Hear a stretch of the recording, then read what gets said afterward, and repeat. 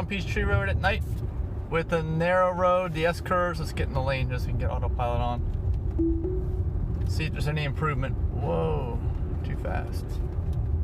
Too fast. It's still going too fast. Alright, just don't hit the telephone pole. Power pole. Whoa, that was close. Oh, it's getting close. Oh. It's just close to those things. The road's so narrow. Now let's see if we can stay here and this other part of the S curve, the second part, without crossing over the double yellow. That's the challenge here. And it's crossing over the double yellow. Ah. Well, sooner or later it'll get that more accurate and better. Thanks for watching.